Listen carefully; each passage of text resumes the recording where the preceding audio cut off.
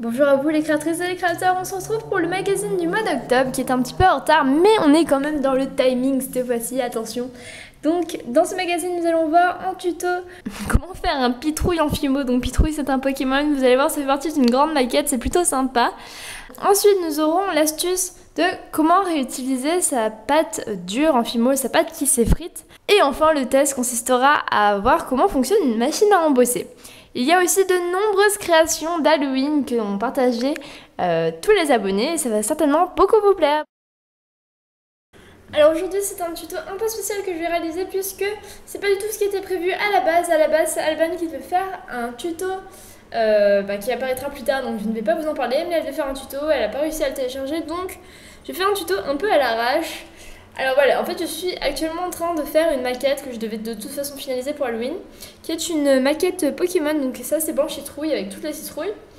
Donc c'est l'évolution de Pitrouille, le Pokémon qu'on va apprendre à faire ici, qui a vraiment une tête de citrouille et donc le but c'est de la dissimuler là-dedans. Donc elle être toute petite puisqu'il faut qu'elle se fonde dans la masse des citrouilles.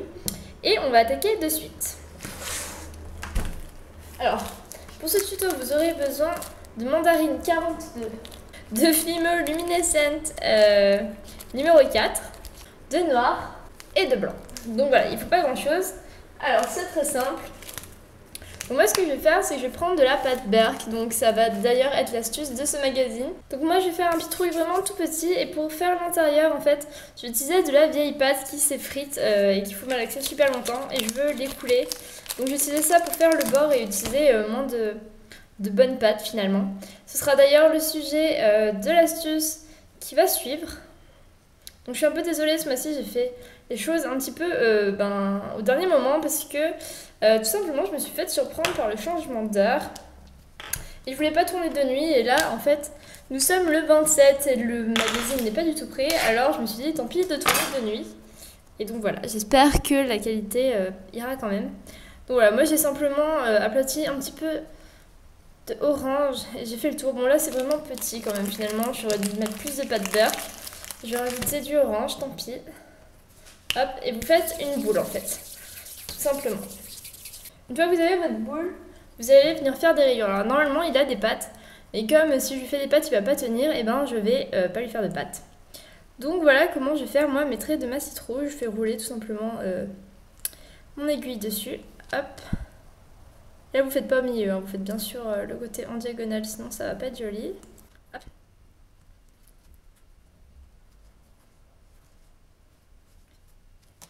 Alors voilà ce que ça vous donne. Donc moi c'est pas super régulier, mais euh, c'est pas très grave étant donné la suite du tuto. Donc faut l'arrondir quand même, faut que ce soit relativement rond et pas trop aplati comme c'est actuellement le cas. Donc là, refaites les marques au besoin en appuyant un petit peu moins histoire que ça se réaplatisse pas. Donc ensuite, Pitrouille a des yeux. Donc moi ce que je vais faire, c'est je vais les marquer comme ceci. Enfin, a des yeux sur son ventre, hein, parce que c'est un peu space. Donc là, ça s'est re-aplati évidemment. Hop. Là, et moi je vais mettre de la fimoluminescente. Donc après, vous pouvez très bien mettre euh, du jaune. D'ailleurs, le Pokémon c'est plutôt du jaune. Mais moi j'ai envie qu'il brille dans le noir et c'est pourquoi j'utilise euh, bah, de, la, de la luminescente, le bain et aussi fait en luminescente en dessous. Le bain de citrouille était d'ailleurs assez difficile à faire. je ne vous le ferai pas en tuto. Donc vous mettez votre petite boule pour faire l'œil tout simplement. Alors moi je vais agrandir un peu les yeux parce que je les trouve un peu petits. Et voilà. Là on est pas mal. Alors là c'est la partie un peu difficile pour le corps. Donc Là, je vous cacherai pas que moi-même, je ne sais pas trop comment m'y prendre puisque c'est la première fois que je le fais. Je le fais en live avec l'image derrière moi. Donc, ce qu'on va faire, c'est qu'on va faire des petits boudins comme ceci. Donc là, vous faites un premier gros boudin que vous allez mettre bien derrière. Voilà, là, ça fait une sorte de tête chevelue. Donc, j'ai fait plusieurs boudins de différentes euh, tailles.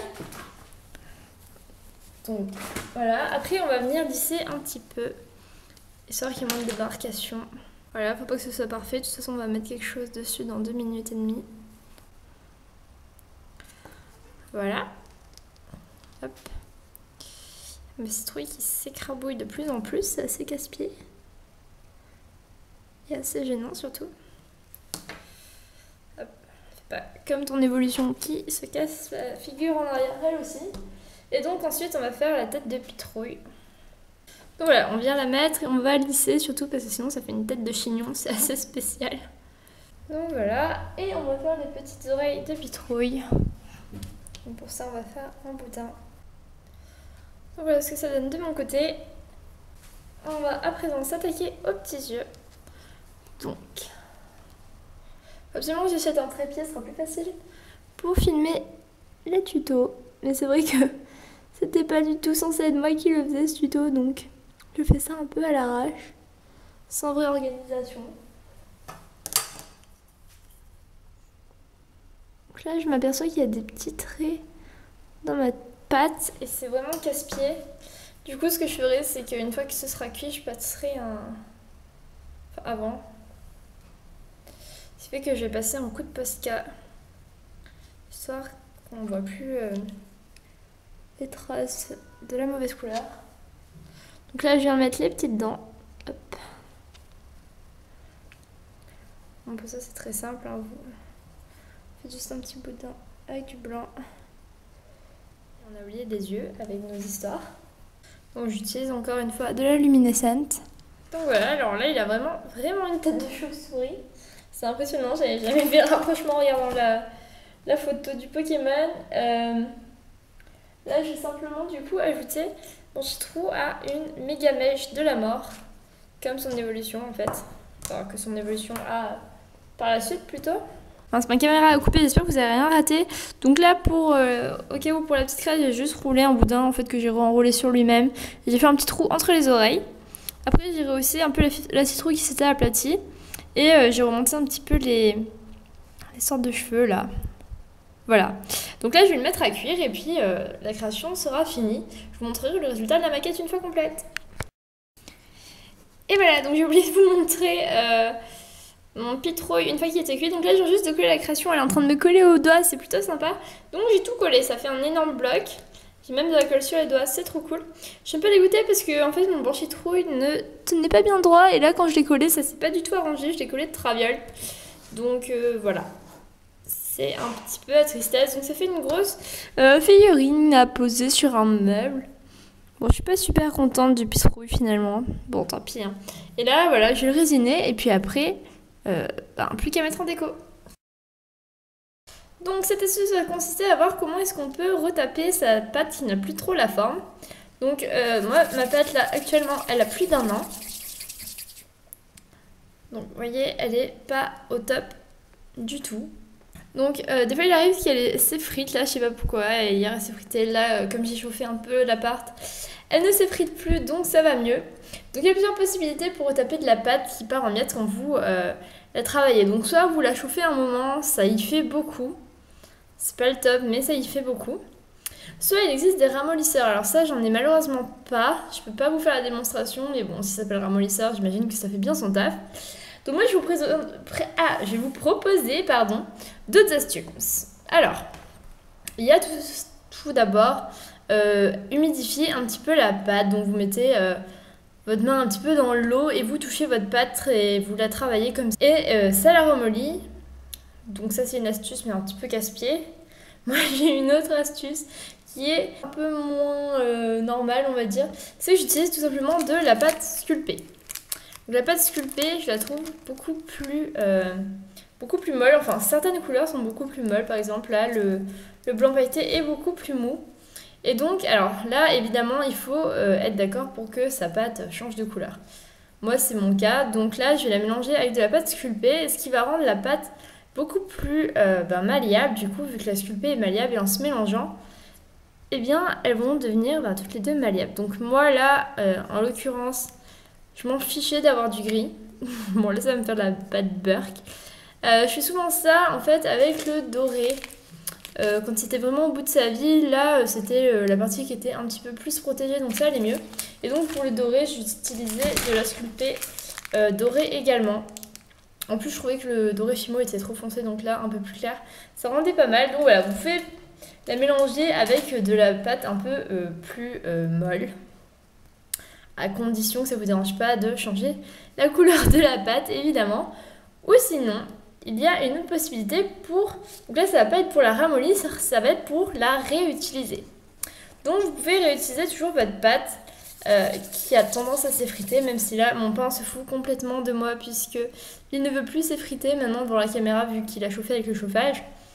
Donc moi ce que je fais pour écouler en fait mes vieux pains que j'arrive plus à faire quoi que ce soit avec, bien j'utilise comme pâte beurre tout simplement. Donc voilà, je fais euh, d'habitude ils font même pas des boules, ils font des petits grains, donc je fais un petit tas de grains. Et après je l'enroule dans de la pâte euh, qui va beaucoup mieux. Et ça permet donc de réutiliser sa pâte comme de la pâte beurre de pas la gaspiller et de pas gaspiller euh, de la bonne pâte pour faire des grandes surfaces surtout. C'est surtout ça le truc. Donc voilà, j'espère que cette petite astuce vous aura aidé même si là ma pâte a décidé de ne pas faire de démonstration ce soir. tant pis, ça arrive. Hein.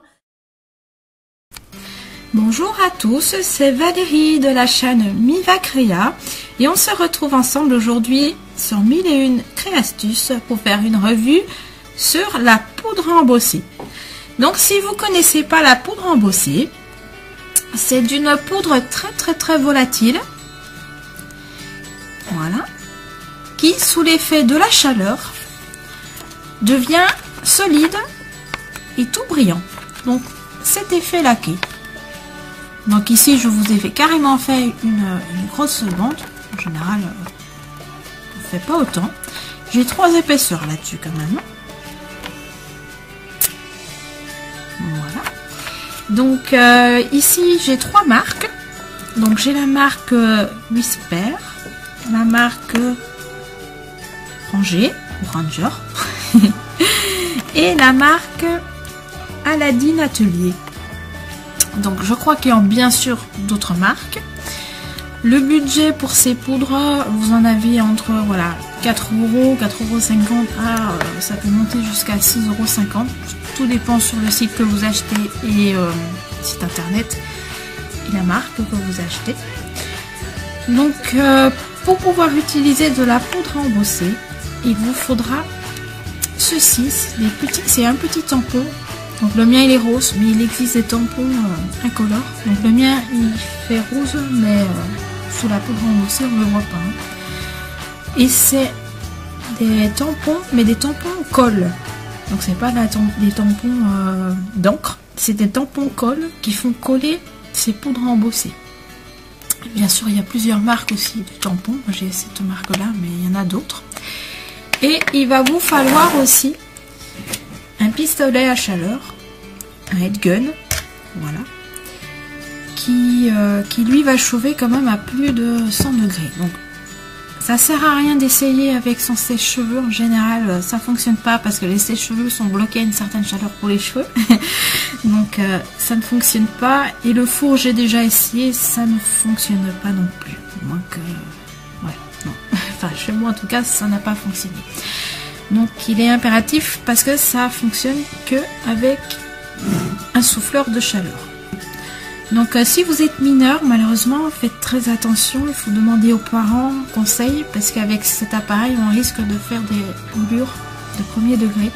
Donc il est important de bien savoir le manipuler si vous êtes, euh, si vous avez moins de 16 ans. Donc faites très attention avec cet appareil. Donc euh, je vais vous retrouver en voix off pour vous montrer comment utiliser toutes ces poudres à embosser. Donc en premier lieu, on va prendre euh, le tampon et on va se munir d'un petit tampon euh, comme celui-ci. Moi j'ai mis Viva Crea, voilà. Donc on va tamponner le tampon sur le sur la feuille. Je vais le mettre à l'endroit. Comme vous pouvez voir, le mien s'affiche un tout petit peu parce qu'il est rose. Prenez toujours une feuille que vous avez préalablement pliée en deux. Vous prenez votre petit pot de poudre, comme, vous pouvez voir, c'est très volatile. Vous parsemez sur euh,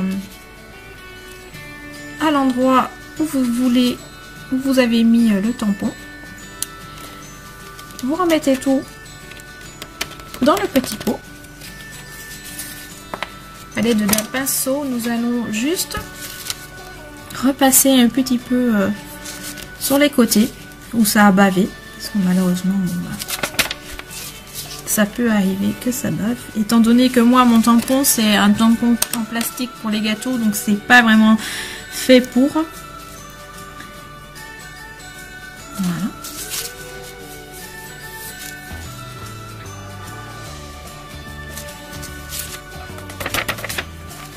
Voilà, nous allons prendre le pistolet à chaleur.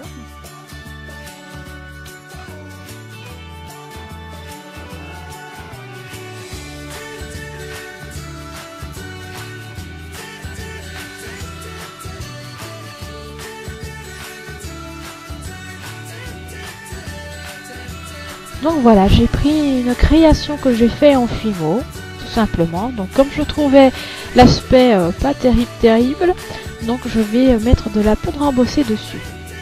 Donc je tapote avec mon petit, euh, tampon pour faire adhérer euh, la colle du tampon.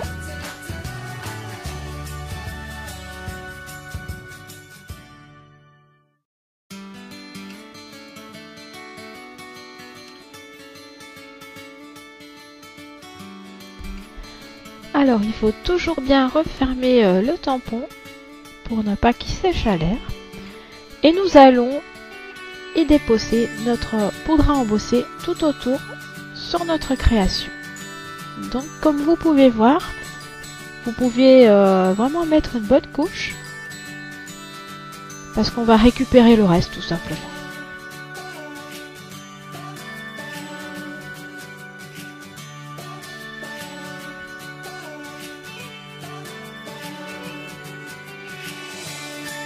Nous allons passer le tout au hot gun.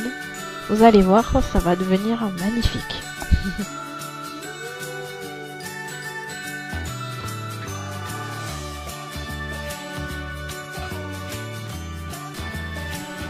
Donc, euh, on va passer au pistolet à chaleur. Comme vous allez voir, j'ai mis la vitesse rapide, donc ça va aller très très vite. Voici le résultat. Je trouve que ça embellit cette création qui était toute terne. Donc voilà. J'espère que cette petite revue vous aura plu. Et je vous dis à une prochaine fois. Merci de m'avoir regardé. Bye bye, au revoir.